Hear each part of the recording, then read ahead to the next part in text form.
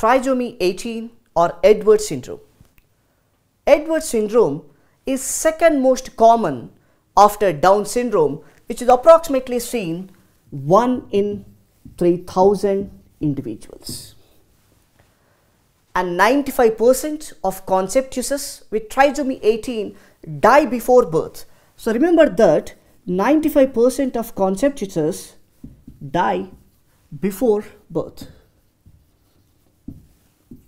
Another important point for you to remember and only 5 to 10% of live births survive beyond first year of life. And uh, this high mortality is mainly due to cardiac, renal and CNS defects. So mainly it presents with cardiac, renal and CNS defects. So the main presentation is with severe mental retardation and central apnea and the patients are prone to sepsis. And what are the physical findings? The physical findings are rocker bottom feet, clenched hands, micrognathia and low set ears. All these are the important points for you to remember for trisomy 18 which is Edwards syndrome.